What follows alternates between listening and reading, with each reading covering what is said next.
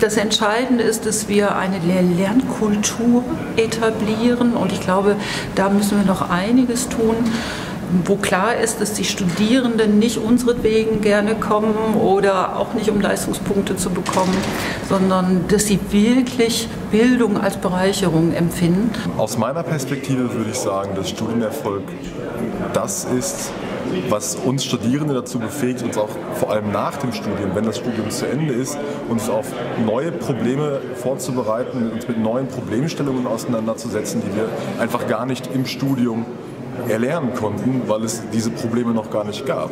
Ich glaube, dass wir zunehmend mit einer heterogenen Zielgruppe zu tun haben an den Universitäten und das heißt, man muss individueller an die Studienpläne rangehen, als wir es früher gemacht haben, insbesondere in der Studieneingangsphase.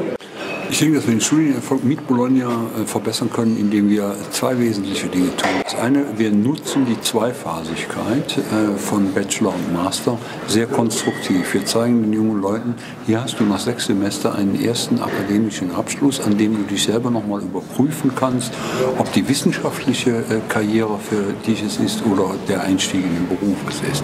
Und unter der Perspektive des lebenslangen Lernens ihnen zugleich sagen, du kannst zurückkommen in das System, nämlich in einen Master. Für mich ist die ganz entscheidende äh, Variable die Interaktion zwischen den Lehrenden und den Studierenden.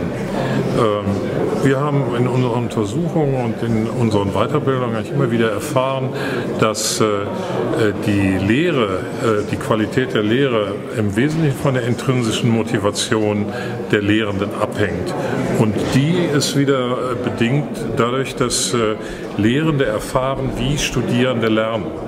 Es gibt nichts ähm, Motivierenderes für Lehrende, als zu sehen, wie sich die Talente der Studierenden entwickeln.